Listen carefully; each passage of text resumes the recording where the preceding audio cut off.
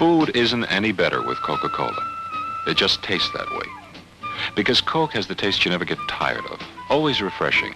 With Coke after Coke after Coke, things taste better and better and better.